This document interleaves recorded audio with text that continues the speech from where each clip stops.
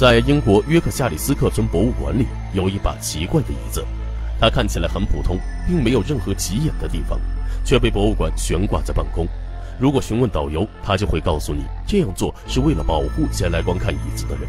这到底是为什么呢？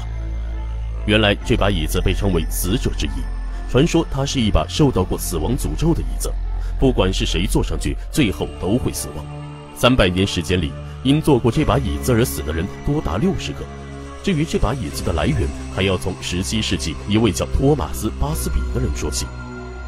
托马斯是个远近闻名的酒鬼，他和妻子伊丽莎白一直住在当地一家小旅馆里。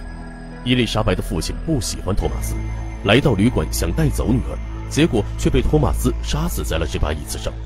后来托马斯被判绞刑，临死前他要求坐在这把椅子上行刑。托马斯死后，椅子被搬回旅馆，诡异的事情就接二连三地发生了。先是一个保洁因为踩在椅子上摔死，后来又有一位建筑工人坐过椅子后从屋顶摔落身亡。一批英国皇家士兵慕名前来要打破诅咒，于是轮流坐上这把椅子，结果他们在战场全部死了。旅馆的老板将椅子封锁在地下室，却依然无法阻止椅子带来的死亡。无奈的他只能将椅子交给了博物馆。都说明朝皇帝多奇葩，万历皇帝更是懒得出奇，当了四十八年皇帝，三十年都不上朝。结果专家打开陵墓后，才知道他有个大大的苦衷。